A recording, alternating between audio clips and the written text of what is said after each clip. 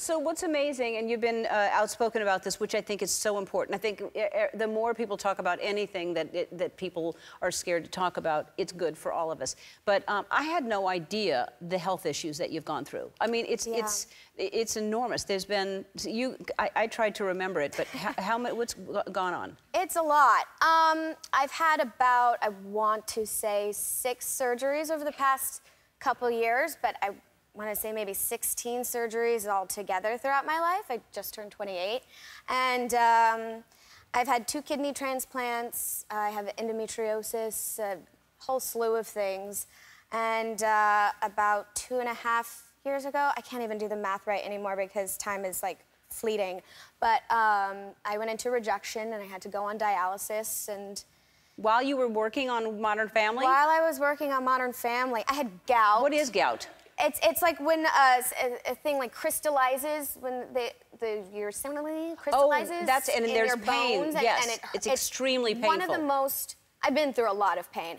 One of the most painful things I've ever had. So you're going to work on one of the most hilarious shows on television. Thank you. And and uh, being funny and yet you're going through this pain every single day. And then I read it, it, that you were going through major depression because of the sickness, which totally makes sense, that you actually thought about taking your own life. Yeah. Um, first of all, like how, and I know you have a lot of support, you have people in your life, but because when people hear that with what an amazing life you have, what an amazing job you have, you're going to laugh every single day, and yet still when you go home, you get into that dark place what would you say to anybody who, like, what got you out of that?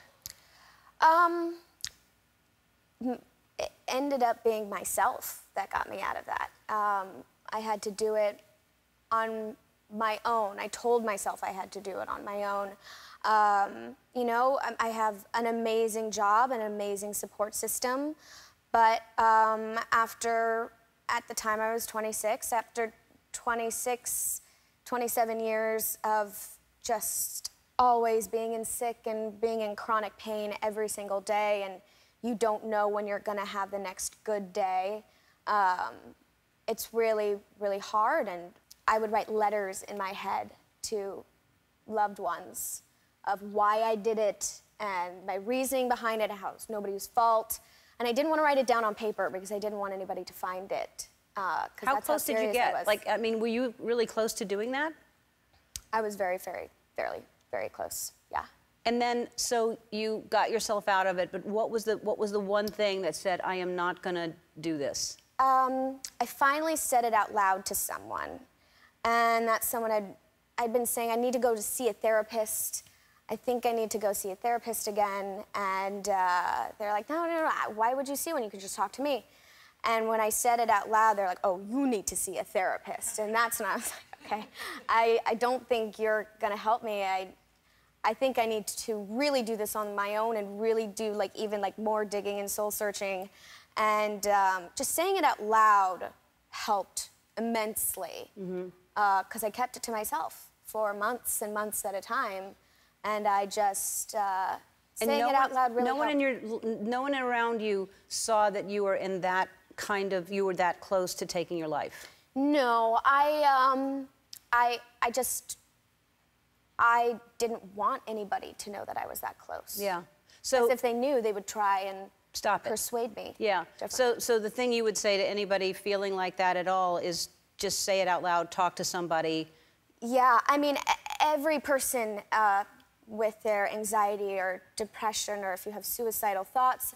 Um, every individual is different. So I wouldn't just rely on everything that I say. I'm just sharing my story. Right. But um, but I think talking to someone and saying it out loud really, really makes it sound almost ridiculous and it puts everything into perspective. You're amazing. I'm so I to, to and that's the thing. You watch somebody on television and you think they they have it all and and what you're going through and what you had to keep going through in the struggle um, while still making everybody happy and laugh. Um, that's I admire you talking about it. Thank I really you do. so much. All right, we'll take a break. We'll be back.